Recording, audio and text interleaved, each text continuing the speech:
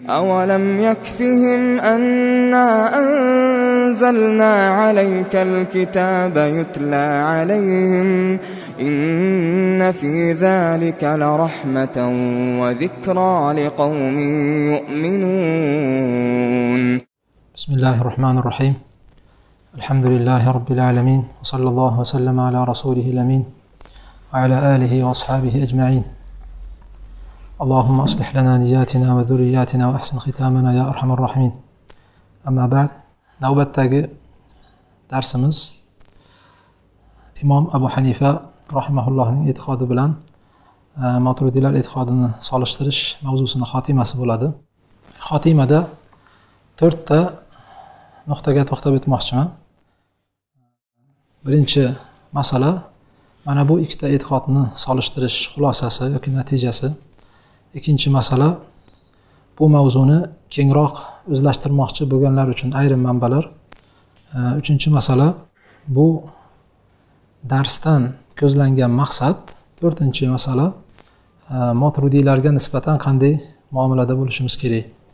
Mana shu to'rtta masalaga to'xtab o'tamiz biiznillah.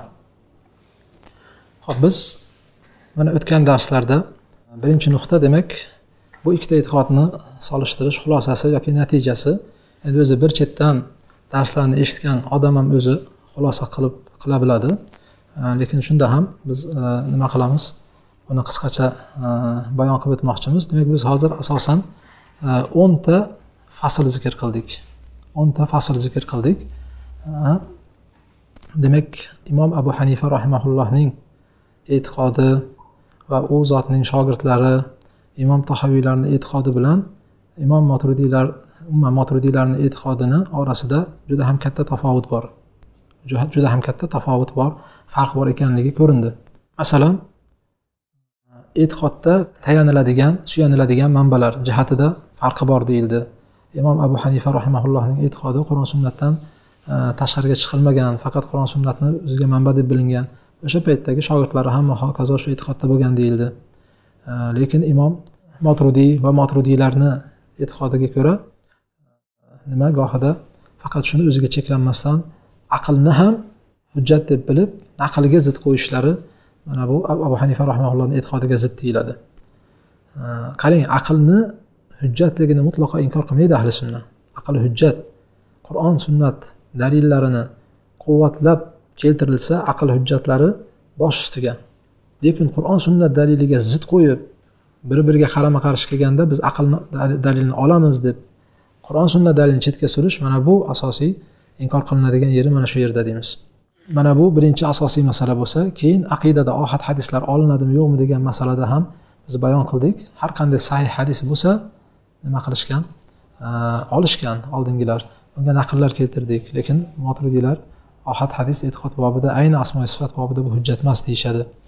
Aql va naql bir biriga zid zid kelsa aqliy dalillarni muqaddam qilishimiz kerak ekanligiga dalolat qiladigan so'zlari bor moturudiylarda lekin saraflarda bu gapni topmaysiz. Imom abu hanifani e'tiqodida gaplaridan bu unga biron bir shohid topmaysiz. Kalom ilmi masalasida farqni bayon qildik. Ilmul kalomni uch yuzinchi yildan oldin o'tgan mo'tabar olimlarni deyarli hammasi qoralashgan. Birortasidan ilmul kalomni yaxshisi ham bor maqtalgani ham bor degan olimni topmaysiz. Lekin uchinchi yildan keyin ilmul kalom yo'q yaxshisi ham bor. Botil ahliga rad berish uchun agar ilmul kalomga kirishilsa bu maqtalinadi. Bu ahli sunnani e'tiqodini himoya qilish bobidan bo'ladi va hokazo deb turib oqlamoqchi bo'ladi o'zlarini ilmul kalomga kirishligini. Ayni o'sha salaf solihlar e, qaytargan ilmul kalom bilan e, shug'ullanganligini biz o'tgan darslarda aytib o'tdik. Demak bu masalada ham imom abu hanifani e'tiqodi bilan moturudiylarni orasida e, katta farq bor ekan. Tashbeh mavzusini zikr qildik. Masalalarni orasida imom abu hanifa rahmaulloh hech qachon biron bir so'zida sifatlar haqida kelgan oyat hadislarni zohiri i bu tashbehku degan e'tiqod bo'lmagan. Boshdan bosh allohni o'ziga loyiq tushunishgan ular.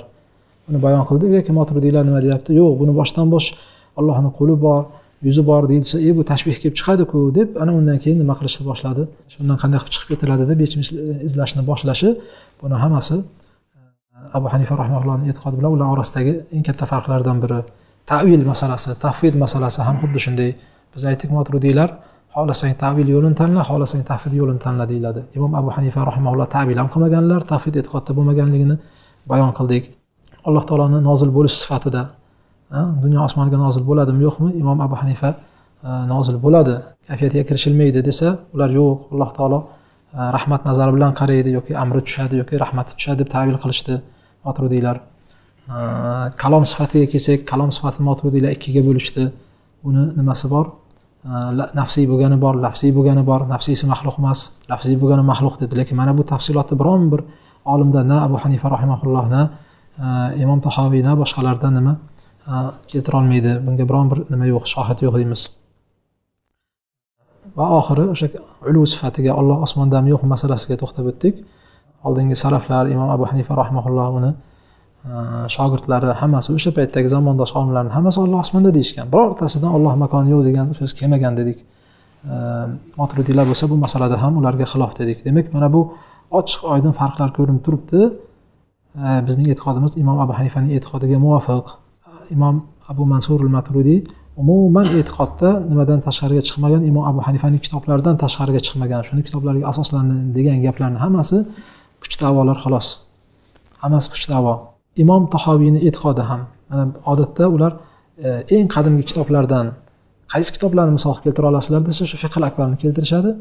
Mana tobiinlardan bizni salaflardan mana bu fiqil akbar kitobi bor deydi. Va imom tahoviyni keltiradi dedik. Imom tahoviyni e'tiqodini ham mana ko'rdik. E, na kalom nafsiyda na olloh osmondaligi masalasida na aqlni aqldan muqaddam qo'yish kerak masalasida na ohat hadis hujjatmi hujjat hujjat bo'lmaydi degan masalada birortasida moturidiylar aytgan gapni gapirmadiku. Endi shu yerda ular aytishadiki tahoviyni o'nlab sharhi bor deydi. Haqiqatda o'ndan ortiq sharhlari bor. Imom tahoviyni aqidasini. O'ndan ortiq sharhlari bor. Ho'p o'ndan ortiq sharhlari bo'lsa bular deydi vahobiylar deydi. Kelib saudiyada faqat bitta sharh o'qitishadi deydi. Ibn abil izni sharhini o'qitadi deydi. Ibn abil izni sharhini o'qitadi. Bu yoqda o'nlagan sharhlar turibdi. Ularni birortasini nima qilmaydi deydi? E'tirof qilmaydi deydi. A bu ko'pchilikka qarshi chiqish emasmi nega shu yagona ibn abil izni o'qishadida qolgan sharhlarni chetga surib qo'yishadi deb mana shu shubhani odatda zikr qilishadi. Javob shuki imom ibn abil iz rahimaulloh imom abu jafar tahoviyni e'tiqodini sharhlagan paytda imom tahoviyni maqsaddan tashqariga chiqmasdan sharhlagan va imom tahoviynidan oldingi o'tgan olimlarni so'zi bilan solishtirsangiz ibn abil izni sharhidagi aytilayotgan narsalarni hammasi oldingilardan topasiz. Masalan muhitun bikulli shayin va fawqahu degan jumlada. Shu alloh taoloni osmondaligini isbot qilib osmonda emas deganlarga rad bergan masalan e, shu ibn abil izni sharhida.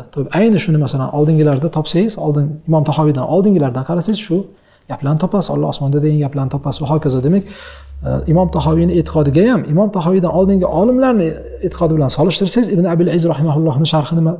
Xilof kelmaydi. Xilof chiqmaydi. Ho'p sizlar o'ntalab sharhini e'tiborga olmaydi deyapti. O'nta sharhni hammasini olib qarang. Ho'p shu sharhlagan paytda g'oliban imom tahoviyni so'zini o'zlarini e'tiqodiga binoan sharhlamoqchi bo'ladi. Biron bir joyda lomakan deb ochiq aytgan joyi yo'q imom tahoviyda. Lekin o'sha vafavqahu degan joyda keladi. Shu yerda yo'q bu ustida demoqchi emas yo ustun demoqchi deydi yo boshqa deydi. Xullas nima qiladi? E, Tavil qilmoqchi bo'ladi. E, yo vov tushib qolgan deydi va hokazo. E, yana e'tibor bersangiz har qanday kelgan sahih hadisni qabul qilamiz degan bu so'zlarni imom tahoviyni so'zini aytdik ya'ni sifat borasida kelgan har qanday sahih bo'lgan hadisni qabul qilamiz degan joyga keladida sharhlarni o'qisangiz mutavotir deb qo'shib qo'yadi. Mutavotir degan joyi yo'qki imom tahoviy aytmadiku ya'ni ohad hadis olinmasligiga ishora qilish uchun sharhlagan paytda har qanday mutavotir bo'lgan hadisni qabul qilamiz deb qo'shib qo'yadi. Mana bu izofalar o'zinglardan qo'shayotgan narsaku bu. Lekin imom tahoviyni o'zini gapini qarasangiz unaqa gap yo'q ya'ni ohad hadis olinmaydi e, yoki faqat mutavotir bo'ladi degan narsalar aytilmadi. Zohirini qarasangiz o'sha ohad hadis hujjatligiga dalil har qanday sahihmi bo'ldi qabul qilamiz deyapti va oldingilar bilan solishtirsangiz unga ham to'g'ri keladi. Oldingilarni birortasi ohad hadis hujjat emas degan aytmagan balki hujjat qilib keltirishgan bu hadislarni uh, aqida bobida. O'sha alloh taoloni kalom nafsiy bor ekanligini biror joyda aytdimi imom tahoviy? Yo'q. Sharhlarni o'qisangiz uh, imom abu jafar tahoviy bu yerda kalom nafsiyni iroda qilyapti deydi. Qanday iroda qilyapti bu yerda? Yo'q u gap aytilmadiku. Demak e'tibor bersangiz bu o'nta sharh o'nta emas yuzta bo'lmaydimi? Lekin imom tahobiyni gapini burib yo'q narsa bilan sharhlasangiz uni nima qiymati bor? Oldingilarni nimasi bilan solishtirganda imom tahoviydan oldingi imomlarni e'tiqod bilan solishtirganda unga xilof bo'lib chiqadigan bo'lsa uni ko'pligini bu yerda hech qanday e'tibori yo'q deymiz. Ko'pligini e'tibori yo'q. Endi o'sha ibn abil izni bittagina o'sha sharhini o'qishadi bular. Saudiyadagilar bu o'sha vahobiylarni nimasi deb ibn abil izni nima qilishadi? Odatda o'sha motrudiylar yoki ashariylar nima qilib gapiradi? Oralab gapirishadi. Endi mana bu kitob o'sha o'tgan darsimizda ham aytdik. Aqida tahoviyani sharhini talxisi. Hop qaysi sharhni talxis degani? Qisqartirilgani.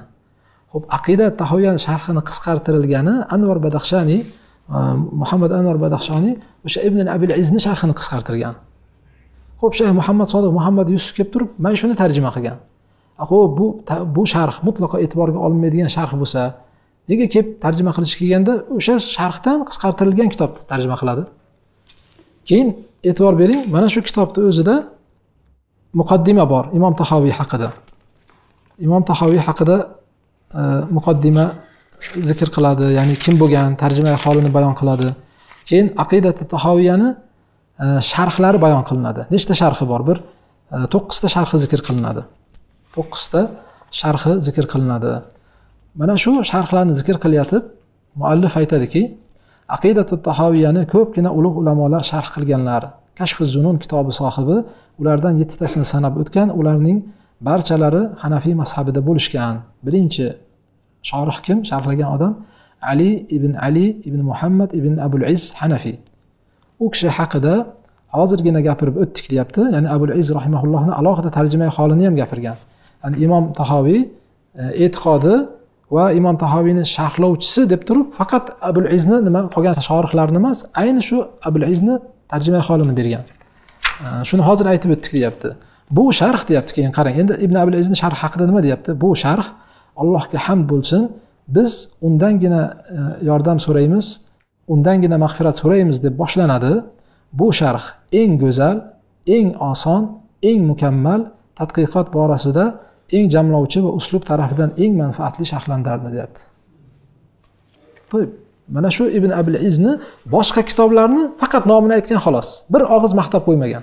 Boshqa sharhlarni zikr qilgan paytda bo'ldi otini aytgan. Ikkinchisi mahmud ibn ahmad hanafiy e, qunnaviy sharhi u hijriy yetti yuz yetmishinchi yil sanada vafot etgan. U kishi sharhini komil samadiyati e, ila e, yagona bo'lgan allohga hamd bo'lsin deb boshlagan deyapti. Xullas keyin Э, qolganlarini aytyapti faqat otini sanab o'tgan xolos.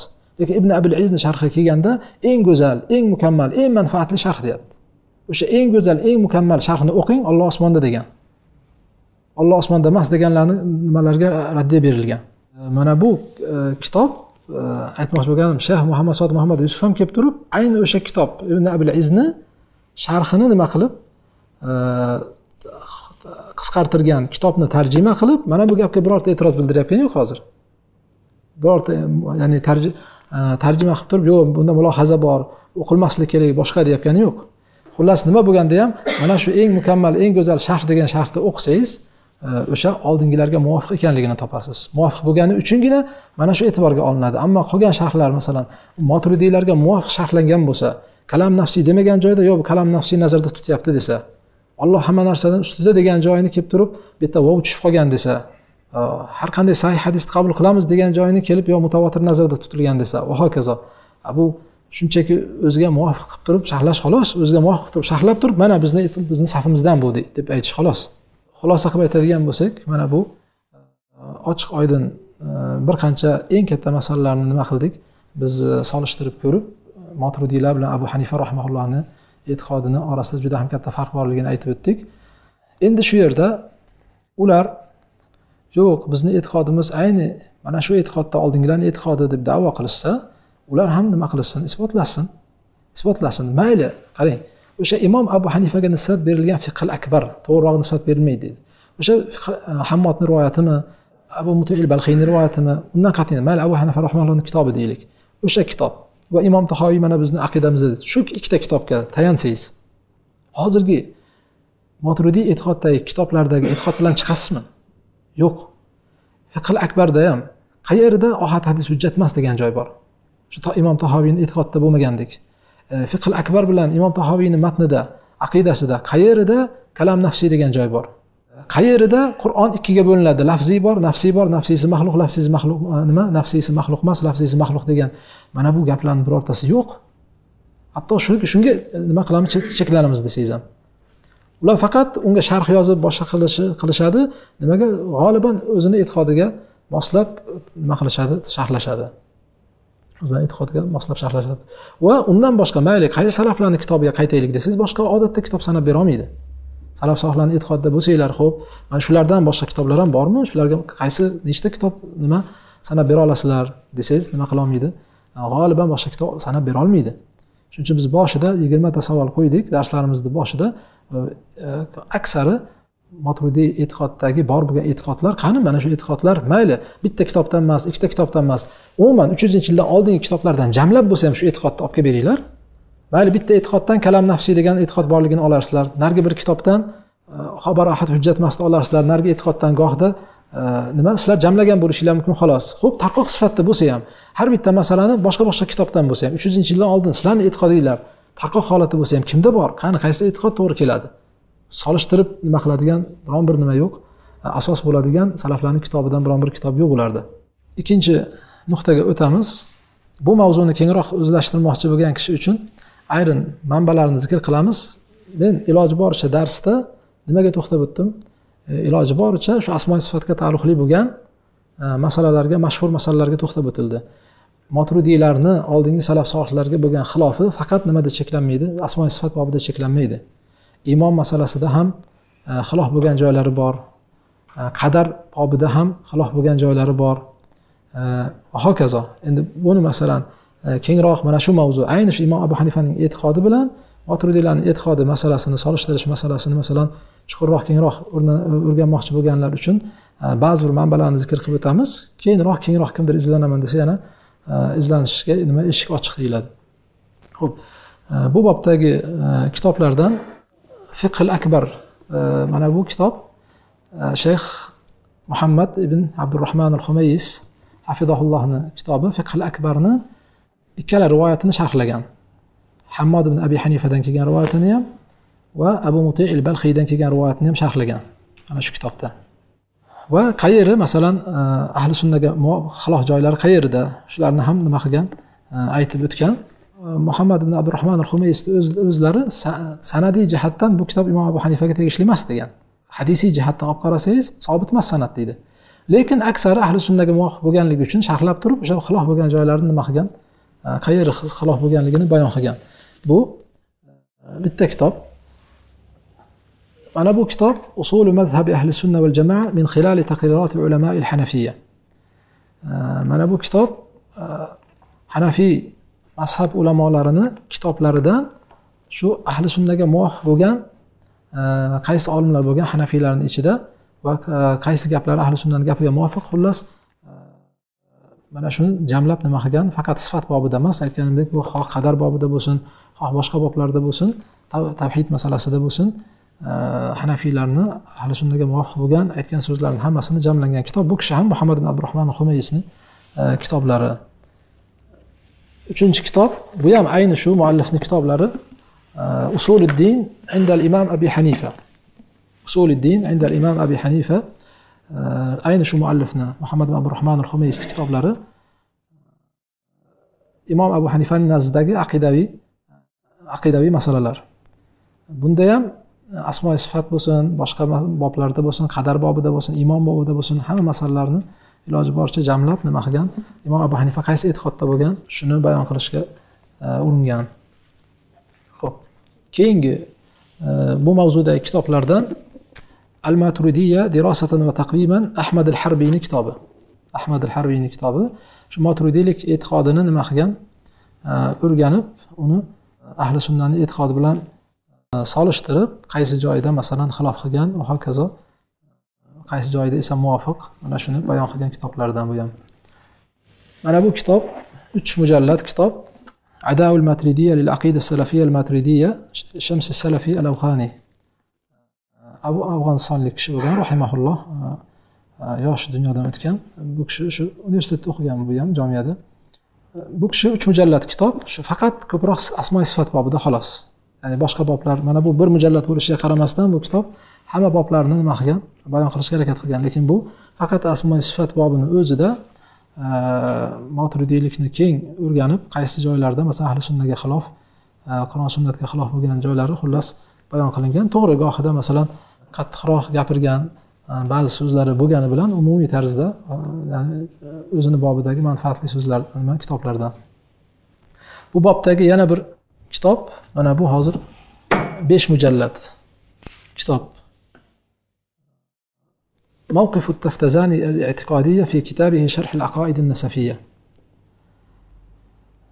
imom taftazoniyni o'sha aqoid nasafiyaga yozgan sharhidagi e'tiqodiy nimalari e, e, e'tiqodlari deb turib shuni keyin nima qilgan? Derosa qilgan. Besh mujallad. Haqiqatda mana bu shayx nuristaniy muhammad nuristaniy hozir bu kishi e, kuvaytda o'zini bobida yozilgan eng kuchli kitoblardan. Besh mujallad mana bu kitob.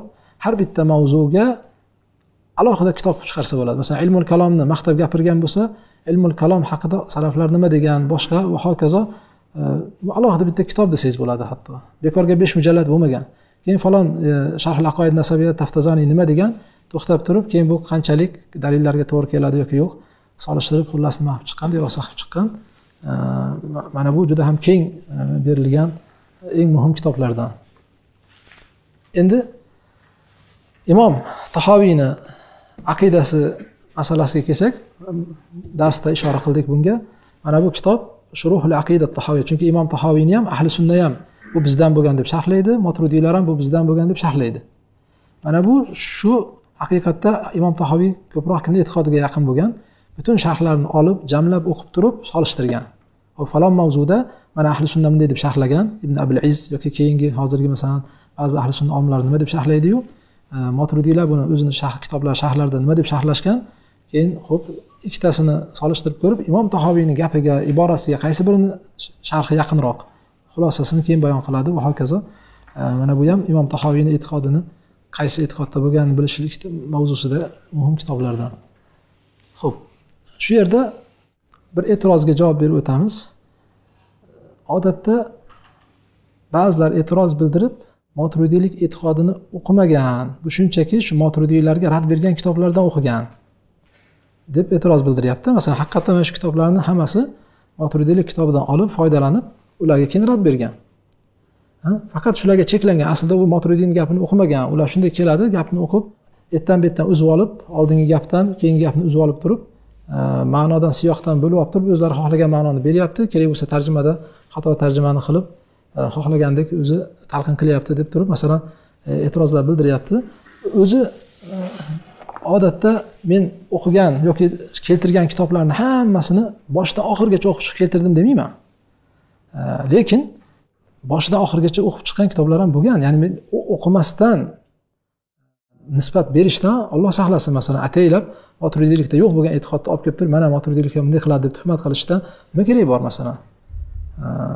Xullas mana bu kitob davul maali sharhu badil amali mulla ali qoriyni kitoblari Maturidiylikda yozilgan kitoblardan. Badul amali manzuma. Manzumaga sharh yozgan ko'pchilik sharh yozgan shulardan biri mulla ali qoriyni sharhi. Mana bu kitobda ham e, to'liq o'qib chiqilgan to'liq o'qib chiqilgan. Hatto bu bundan madinada yurganda bolalarga hatto dars berilgan. Bolalarga dars berib o'tib chiqilgan. Mana bu kitob taftazaniyni kitobi. Sharh laqoidin nasafiya va uni hoshiyasi bor. Shu sharh aqoid nasafiyani ham e, aqidadagi mustahkam ustozlarni o'zida boshidan oxirigacha o'qilgan. Ya'ni o'qimay turib bir narsa nisbat berilayotgani yo'q. E, shu kitobni boshidan oxirigacha o'qilgan e, hatto o'sha kitobni ochib qarasangiz boshida bo'lsin boshqasida bo'lsin ta'liqotlar bor yozilgan foydalar yoki boshqa narsalar yozilgan. Mana bu kitob esa qisqa qisqa matnlar ashariylik e'tiqodi bilan moturudiylik e'tiqoddagi qisqa matnlar. تورت أشعريلك إتخطى ماثنبر عقيدة السنوسية عقائد الباجورية عقيدة أبي مدين عقيدة العدودية.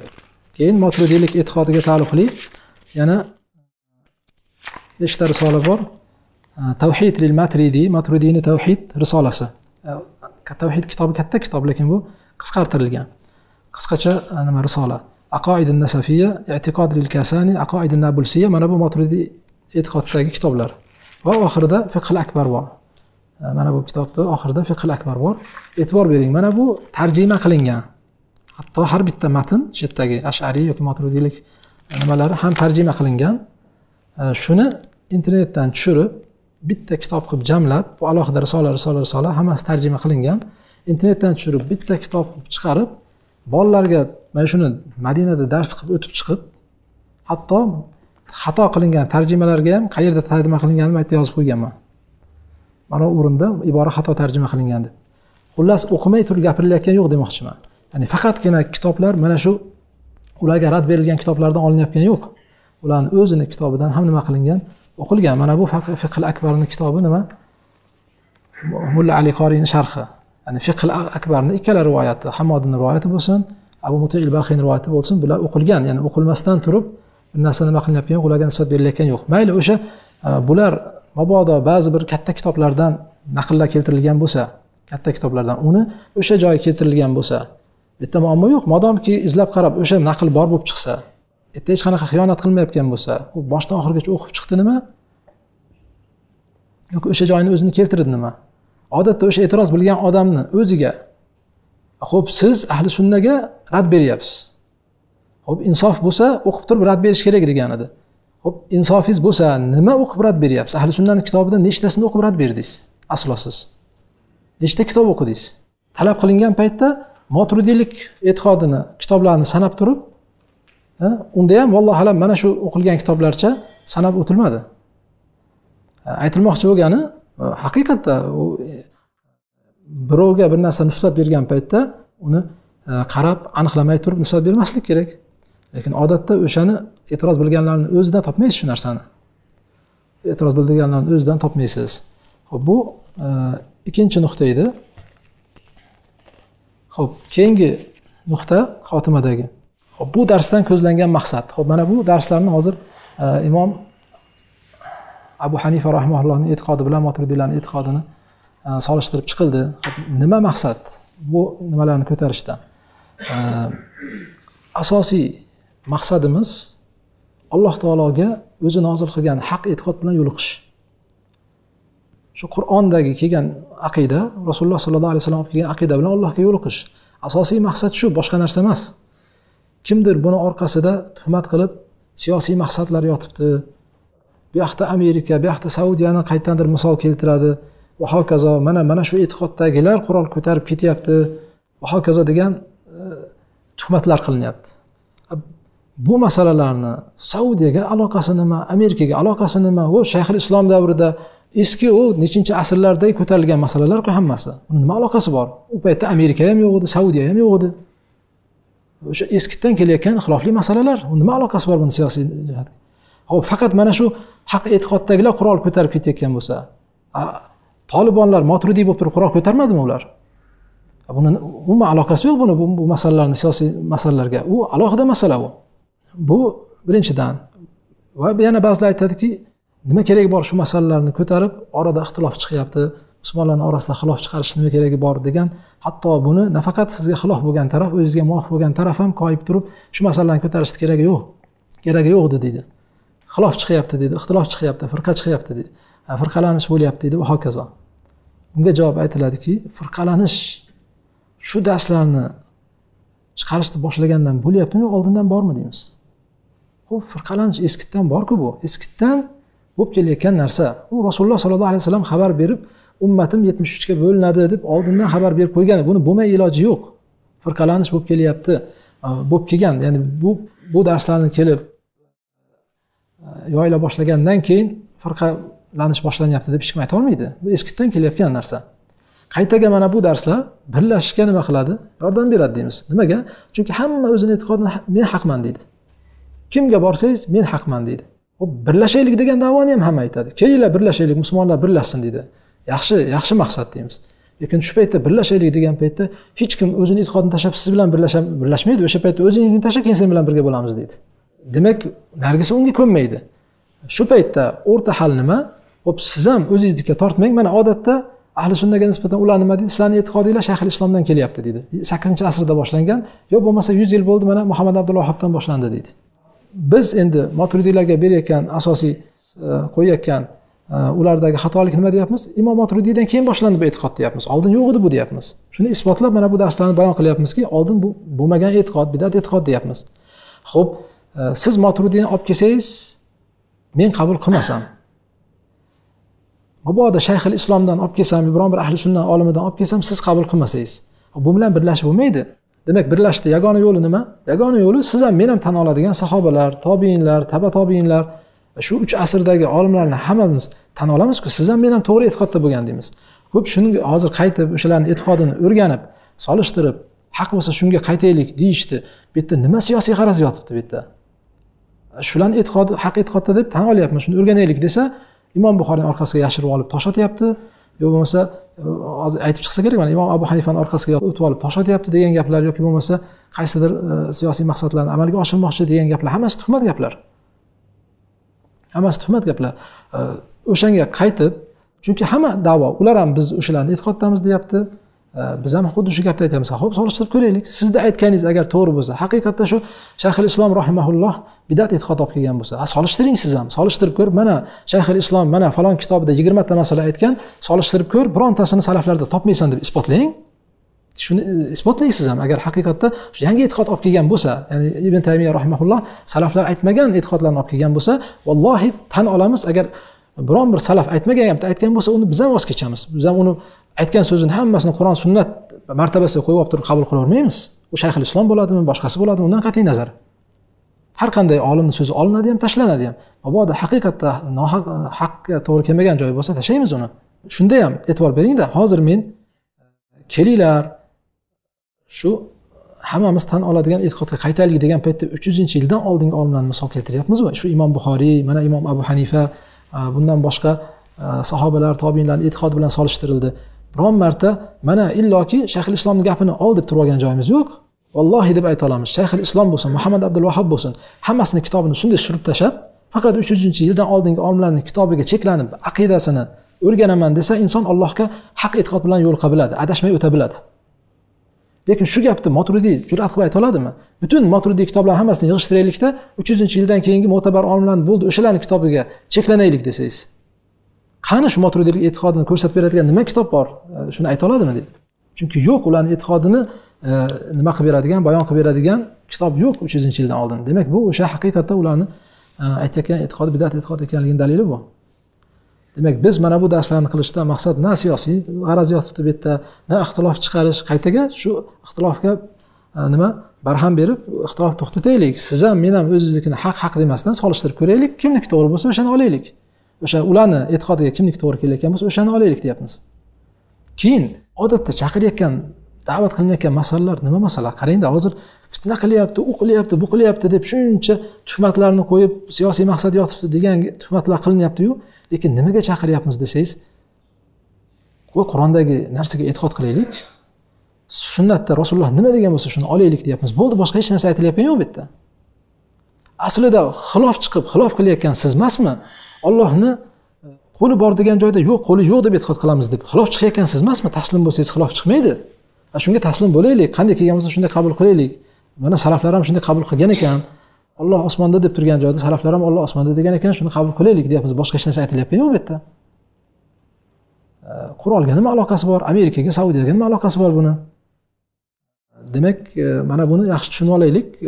Darslardan maqsad ixtilof chiqarish ham emas boshqa emas qaytaga ixtilofni to'xtatish haq e'tiqod bilan allohga yo'liqish. Xolos boshqa hech qanaqa bu yerda e, nimamiz yo'q. Agar mabodo kimdir haqiqatda aslo sen buzib tarjima qilding yoki bo'lmasa buzib e, talqin qilding desa marhamat bayon qilsin.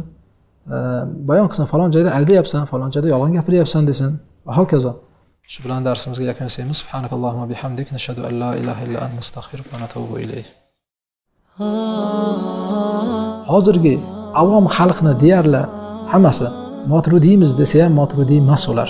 Mabodo motrudiy degan nomni aytsa ham ular motrudiy emas fitra deya qo'yib bersangiz olloh osmonda deydi. Kalam nafsiy desangiz nima u deydi? Kalam nafsiyni ham bilmaydi boshqani ham motrudiy e'tiqodini bilmaydi.